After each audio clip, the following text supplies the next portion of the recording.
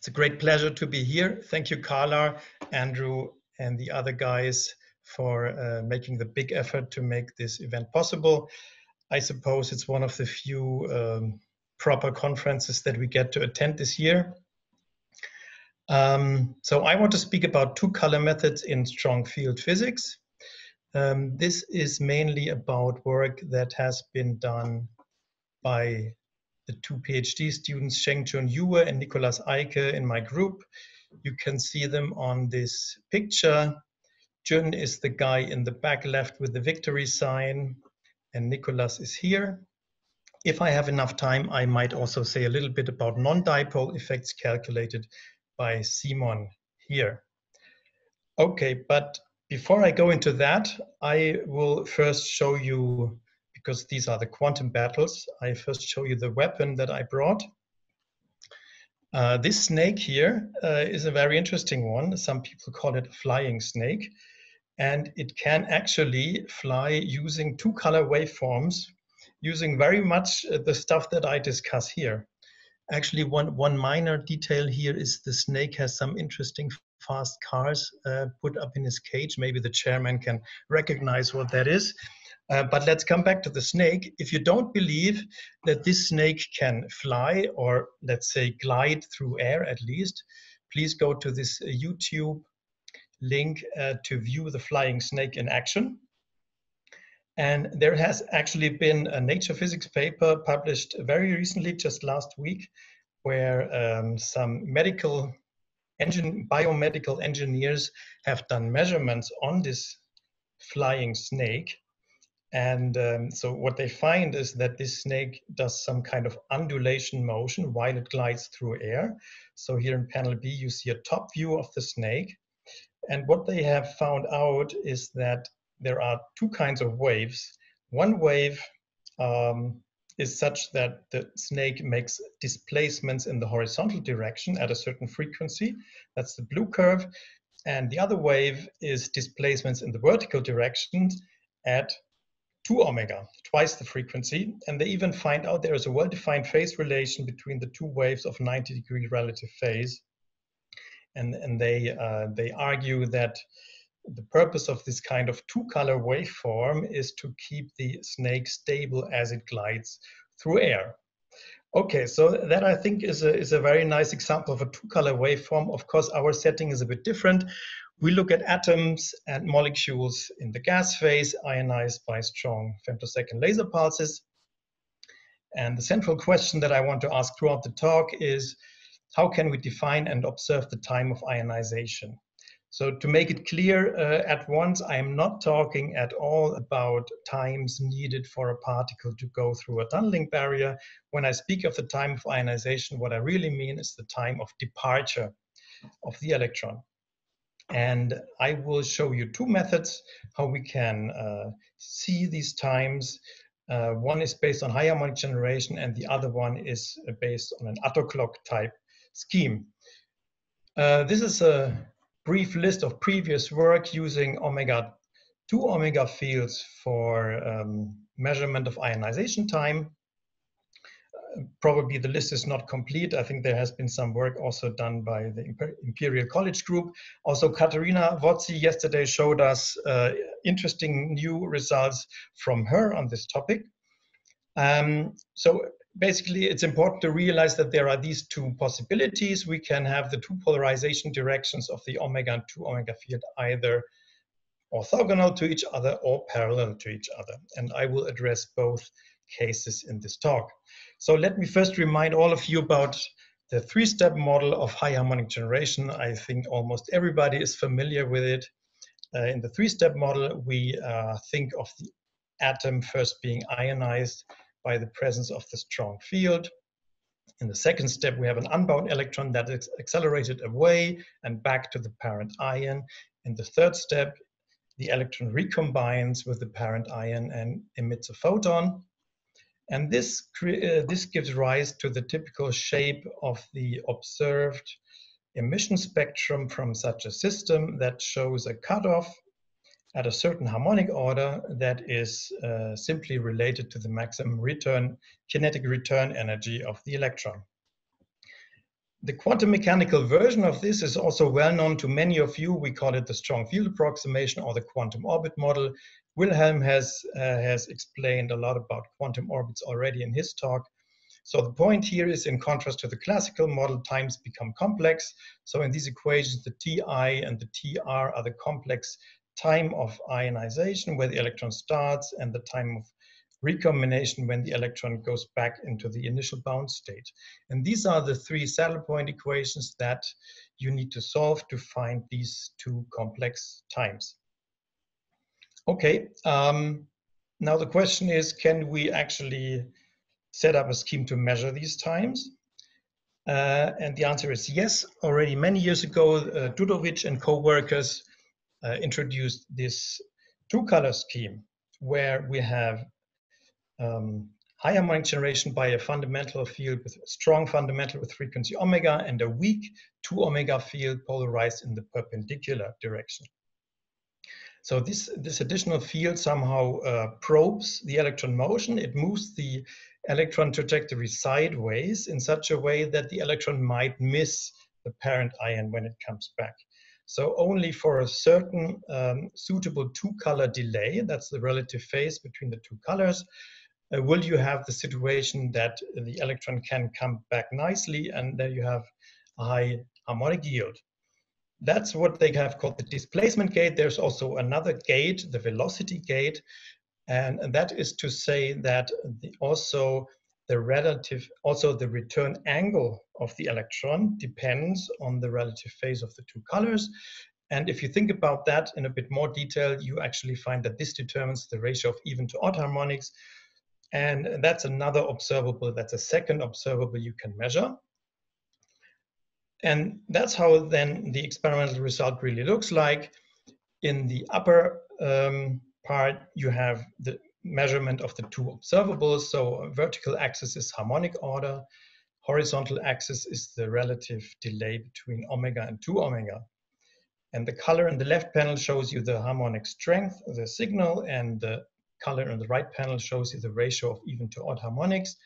If you use these two observable observables to reconstruct ionization and return time, you find the results in the bottom panel. And the red dots are the experimental uh, results, and they are compared here with the gray line, which is the classical Simpleman's model. And you see it does not really fit well to that. but the experimental measurement matches very well the black line, which is the quantum orbit, the SFA times from the saddle point equations. So since we will be using this uh, scheme later on, I think it's good to look once at the equations that you need to solve um, so as I said, you have these two gates, and for each of these two gates, you have an equation. So the first gate is the displacement gate, um, and, and what really happens is that um, if you want the electron to return to the parent ion in the presence of the two-color field, then because it's a curved trajectory, you will need a certain initial transverse velocity. Um, sorry, um, initial transverse velocity to make it return. And just from classical arguments, you find this equation here, which depends on Ti, Tr, and the relative phase phi. And you expect that you get the maximum signal if the, the, this transverse velocity is zero, which happens for a certain choice of phase. And then there's the velocity gate, which tells you what is the angle of the returning electron. And uh, if you want to maximize that, you have to set the derivative of this classical expression to zero. And that gives you then two equations to retrieve the two times. But actually in our implementation, we find that it's better to use these equations with complex times. So Ti and Tr are now complex, uh, which then actually means that it's really four equations and if we have two observables and four equations, we need to make some extra assumptions, but that's not a big problem. We set the imaginary part of the return time to zero because we know it's small. And uh, one other assumption that we make is that we set the imaginary part of the ionization time to the Keldysh time, which is a simple formula that we can just plug in. And if we do that, we can actually uh, go and reproduce the experiment. So what we have done already many years ago is solve the 2D or 3D um, numerical time-dependent Schrodinger equation for a helium atom with these parameters. And in the right, you see the, the traces for the harmonic signal and y to x amplitude ratio. It looks very much like in the experiment. And then we do this time retrieval, and then you find the result on the left. So again, harmonic order is plotted on the vertical axis and on and the horizontal axis is time. And we show here both ionization time and return time. You should look here at basically the purple points which agree very well with the quantum orbit model, which is the thick gray line in the background. You can't see it because actually the TDSE result overlaps with the quantum orbit result. So um, two things. One thing is important. I, I, should emphasize that the point here is that you can measure or determine um, ionization time and return time for every harmonic order separately. And now there is, uh, there is one striking result here. These retrieve times are amazingly close to the quantum orbit times. And I remember that um, probably five years ago when I gave a, a talk and I included this result, Dieter, who is our chairman now, actually asked me this question, why is this result so close to the quantum orbit model? Are there no Coulomb effects? Actually, at the time, I couldn't give a good answer, but I can give the answer now. So um, before I do that, I want to remind you why we actually would expect to see some shifts, some difference between these, um, these results. And, and to that end, let's think about the attoclock. The attoclock has been introduced by, uh, by some other speakers already. Um, so there we observe photoelectrons from ionization in a strong field. And that's usually a near circularly polarized um, pulse so that your momentum distribution is um, um, like a torus. and then uh, we can determine the angle under which the maximum signal is observed. And that angle has to do something with the ionization time. And we know that there is a strong Coulomb effect on the outgoing electron that will modify this angle, as we see in this picture that I have stolen, like all the other speakers, from the paper by Torlina et al. Um, so putting this the other way, it means that if you look at a fixed momentum, then for this given momentum, the ionization time is changed by the Coulomb potential. It's not the same as in the short range potential. So in the same way, we would expect that we would expect that to happen for the harmonic generation. So um, okay, the, the case, the, the question is, can we use something like the attoclock principle to learn something about the ionization time uh, in high harmonic generation? And that's of course difficult because the setting is different. We have circular polarization in one case, linear polarization in the other case. And um, uh, one could think about doing the attoclock with linear polarization, but it's just not possible because uh, in linear polarization, you have a lot of effects. You have intracycle, subcycle interference, you have rescattering, you have Coulomb focusing, holography, all that into one uh, distribution. So it's very complicated and it, you cannot analyze it uh, like, like an attoclock. Um, but there's a trick. We can use a bicircular field. So in particular, we can use a superposition of two counter-rotating fields with frequency omega and 2 omega. Depending on the ratio of field strength, the total field shape will look uh, like one of these pictures. And we are particularly interested in this two to one ratio because what does it do? It actually has, it features three times per optical cycle indicated by the red circles where uh, the total field of this bicircular field mimics linear polarization. So if you look here, as we approach this endpoint here, um, the electric field basically moves on a line. So we can uh, actually use this bicircular field to learn something about the ionization mechanism in linearly polarized light. And that's what we do in the following. So this shows you some results of our calculations. On the left, you see um, then um, photoelectron momentum distribution created by such a two to one bicircular field. The left one is calculated using SFA with a CW field, and that's why the three blobs in this threefold structure are equally strong. In the right picture, you see the result from a TDSE calculation for a short pulse. And there we prefer one of these three lobes because of the short pulse length. And this is the one that we analyze in the following. The important finding here is that you see that when you project this um, distribution on the vertical axis, it's not symmetric, it's not up and down symmetric around zero, but there's an upshift here. And this is exactly analogous to the attoclock angle in the circular polarization. so we will analyze this attoclock shift in the following, but there is one, um, maybe now I should emphasize there is one limitation of this attoclock principle because of course it gives you only one ionization time. I mean, if you have a model in um, how that helps to analyze this result, what you basically do is you look at the location of the peak and you assign an ionization time to that peak. You cannot do a momentum resolved measurement of ionization time. In order to do that, you would have to do something additional, and that's what we have also done. You could combine this, uh, this ionizing field with the weak probe field. That's what we now call a two-color method combined with the bicircular field. So for example, look at this picture here. In addition to the ionizing field in red, we apply this 2 omega streaking field uh, pointing perpendicular to the ionizing field. And here on the right is a picture for parallel polarization. so it's a little bit, um, it's a little bit complicated to think about the details of this scheme. So um, I just try to explain it in, in very few terms.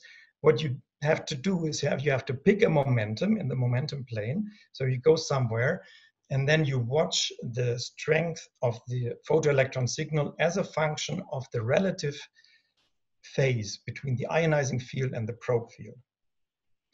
And from this optimal phase, where the, uh, the signal is maximized, you can calculate back to what the ionization time must have been. And, and that actually works with very simple equations here on the left and here on the right for the two different polarization cases. So um, this retrieval of the time is actually much simpler than in the high harmonic generation case. And now let's see what, the, what is the result that we get for a helium atom um, ionized with this two to one bicircular field.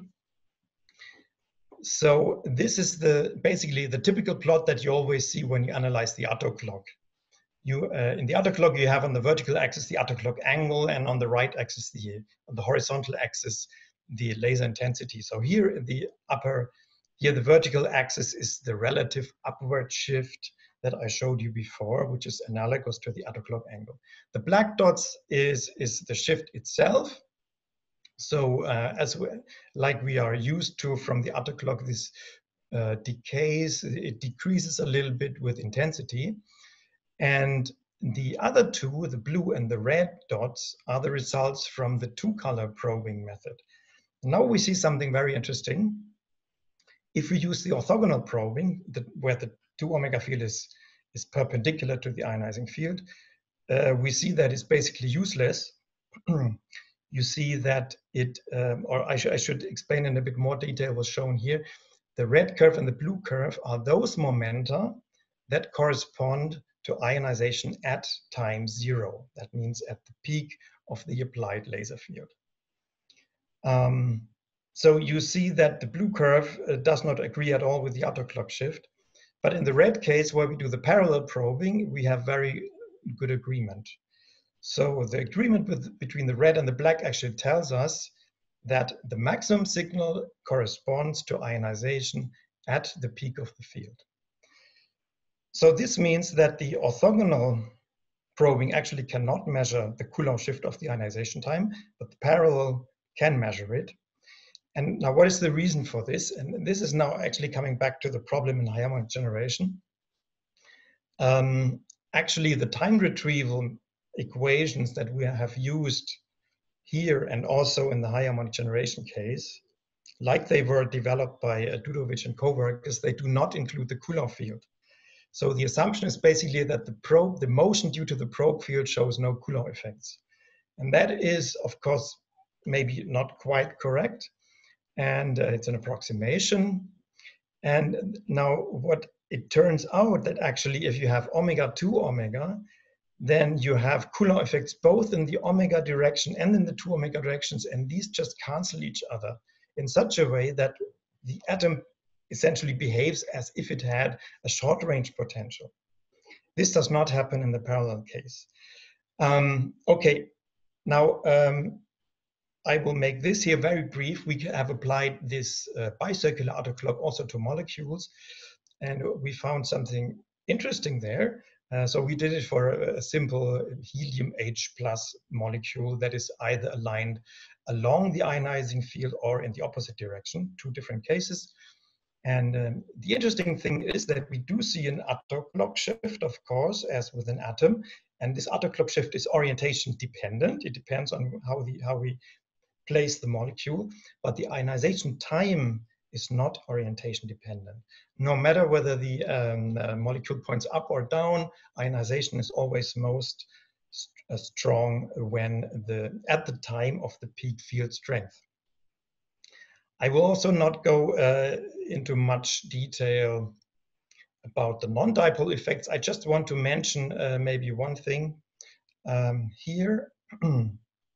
this is something that we have also published in connection with the bicircular attoclock. Um, you could actually use instead of the two omega field polarized perpendicular to the ionizing field, you could instead exploit the Lorentz force on the outgoing electron due to the magnetic field, because that Lorentz force also is in the perpendicular direction. It's actually in the propagation direction of your laser field. So um, you, could, you could think of replacing the two omega probe by that Lorentz force. Um, and we have analyzed that and we, we found that actually this kind of attoclock also does not give you the true ionization time. It, it also kind of measures the Coulomb free time. So um, what that really means is, if, if you look at the result, that whereas your distribution shows an attoclock shift, as we see in the top here, um, the position where your forward, forward non-dipole shift that comes from the radiation pressure is minimal always remains in the center of this distribution. It does not, it does not follow the attoclock shift. Okay, but um, let me um, come back in the final few minutes to the uh, high harmonic generation case. So the question is, can we make it, uh, can we make this orthogonal probing work nevertheless? So we found something interesting there. We actually repeated this probing, not using two omega fields, but other streaking frequencies. So here you see results where we always ionize or where we always generate harmonics with the same fundamental frequency, which is 800 nanometers in this case. But the probe field, which is in the perpendicular uh, direction, is varied from 1.4 omega to 4.6 omega. And the interesting finding is that if you look at this result plot where we have harmonic order on the vertical axis, ioniz ionization time on the horizontal, we see that all the low freq or the low frequency streaking frequencies um, give rise to the results in the right on in the right part here, whereas all the high frequencies give results in the left part. So there's an obvious difference between high frequency and low frequency probe fields or streaking fields. And now I think it's it's time to really um, look at the question, um, how do we actually expect the Coulomb potential to affect this ionization time? So um, we have the quantum orbit times from SFA, and the question is how are they changed by the presence of the Coulomb, Coulomb potential? I show you three different ways to address this problem. One is, is probably well known to many of you. It's called the analytical R matrix theory developed by Olga Smirnova and her co-workers. There, you correct the SFA action by adding uh, a Coulomb term, which is essentially the time integral of the Coulomb potential. And then what you can do is you can find the, the corrected saddle point times by calculating the new saddle points. Um, I'll show you the results in a minute. An alternative model that we have set up is a classical model. We call it here a modified classical model. It uses Newtonian trajectories in the presence of the Coulomb potential and the external field. Um, it uses a little bit of SFA input for the starting conditions, and we use zero transverse velocity. And, and from that, we can then derive numerically a new relation between the ionization time and the harmonic order. And the last one is, is the simplest one, and um, let me explain that briefly. Um, in the in the attoclock, or in general, if you ionize with a low frequency field, there's actually a very simple way to estimate the uh, Coulomb effect on the outgoing electron. In the adiabatic limit, so for a slowly varying field, uh, Nikolai Shvetsov-Shilovski has actually derived many years ago this simple formula. That's the momentum kick on the escaping electron in the presence of the Coulomb field. Uh, it, it's proportional to the electric I think I got thrown out exactly at this point. Um, so now you can hear me and see me and and see the screen. Yes. Okay, very good. Um, okay, I will do it quickly. Um, so I showed you these three models to uh, to model the Coulomb shift of the ionization time in high harmonic generation. And um, as we see here, this is the result of the three models. They are very similar to each other. Um, and they differ from the quantum orbit time, which is the gray line, and also very much from the simple Simpleman's model, which is the dashed line. Um, okay, and now let's see how uh, the retrieve times look that we get from the TDSE two color uh, scheme. So uh, on the vertical axis now we have the ionization time and I plot here the results for four different harmonic orders, 42, 47, 50, 53. And the black dot dash is the quantum orbit times without Coulomb and then red and uh, violet are the models for the Coulomb shifted ionization time. And this is the result from the two color harmonic generation at various frequencies and so you see there's a, a very interesting double plateau structure. At low frequency, um, this scheme yields the Coulomb free time. At high frequency, it uh, yields something that is actually quite close to the to the models for the Coulomb shifted time. So um, the finding is that um, or the explanation is that at low frequency, we somehow uh, have the problem that uh, we cannot neglect the Coulomb effect in these time retrieval equations, and therefore we, uh, in, when we do it nevertheless, we measure the Coulomb free time, and in the high frequency, um, the scheme is adequate. So we measure the correct ionization time. So a, a proposal for an experiment would be, for example, uh, do the measurement for omega 2 omega and another one for omega 4 omega. Look at the difference, and that should give you the Coulomb shift of the ionization time. Okay, and that was my conclusions slide. Um, I showed you in the beginning the two to one bicircular attoclock, uh, I hope I could convince you that it's a very interesting and, and nice tool to measure uh, aspects of ionization with maybe higher accuracy as the other fields that we are used to. And then in the second part, I showed you the, in the, in the last part, I showed you results from this two color orthogonal high harmonic generation, where we see this interesting difference between low frequency probing and high frequency probing. And hoping that I was not cut off this time, I would like to conclude and thank you for your attention. Yeah, thank you, Manfred. You were not cut off. So are there questions to Manfred? We don't see raised hands. So I have one question. You had uh, this plot with the ionization times and then high frequency and low frequency and they came in groups. So why is this transition not continuous from high to low frequency? Well, you, uh, okay, I think you are referring to this plot. Is that right? I, I cannot see anymore because you don't share the screen. Okay, I'm sorry. I will do it quickly.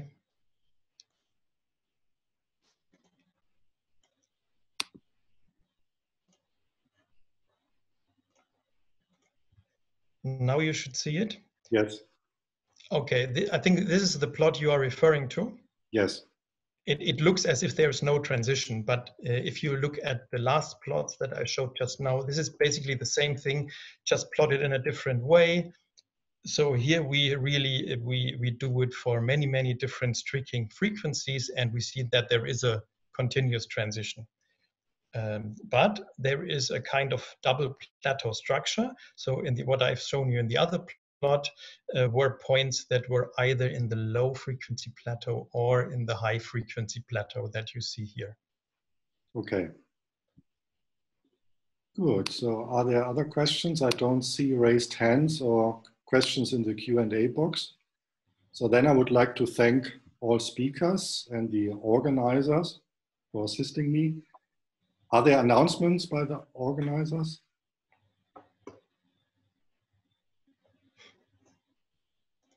Seems not the case. So then I would like to thank you all and then I close this session.